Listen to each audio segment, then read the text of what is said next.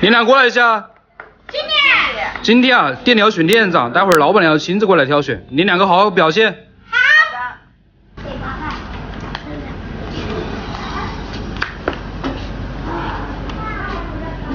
哎，美女，你帮我介绍一下这件衣服吧，我还挺喜欢的。介绍什么呀？介绍这一件衣服都挂在这里吗？你长着眼睛不会自己看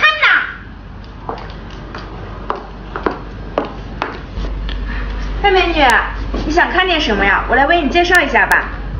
我看你们家的衣服啊，都挺漂亮的，只不过我现在都一百五十多斤了，这个肚子也大，腿也特别粗，要不你帮我推荐一下适合我的、显瘦一点的吧？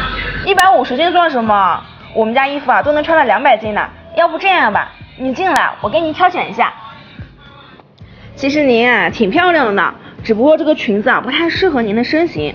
您看您肚子大，不能穿这种紧身的，有点太夸张了。嗯，这样吧。我们家新到的这款法式连衣裙，你可以去试一下，它是高腰 A 字版的，特别能遮肚子呢。真的可以吗？我看这个裙子这么小一点点。嗯，没关系的，它是大版的，而且有弹力呢。您先去试，不合适的我再跟您换。那好，嗯，试衣间在里面。美女，尺码合适吗？合适。哎呀，我说小乔啊，你对这个人服务态度那么好干什么？来者都是客啊。还啥客啊？有钱人我就称他为客，没钱我就想赶他出去。这话怎么说的？咱们做服务的，好好招待就行了。我看你那个呀，一点经验都没有，还好好招待，别怪我没提醒你。美女，你换好了，这样穿真适合你，真漂亮呢。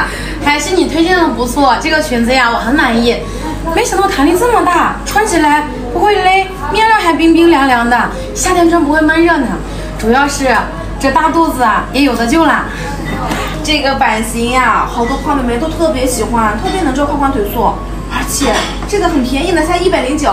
既然您这么喜欢，我帮您去打包啊。哎，回来，不用了。其实啊，我就是这家店的老板娘。嗯，老板娘，抱歉，我没有认出来您。没事儿，今天我过来其实就是为了考核一下店里的情况的，不是要选店长吗？今天呀，我算是了解清楚了。不过呀，你的态度没让我失望，以后你就是这家店的店长了。谢谢老板娘，我会好好干的。那行，你先去忙吧。好。喂，马经理。我们店里面是不是有一个瘦瘦小小的女孩子呀？对，就是她。明天不用来了，开了吧。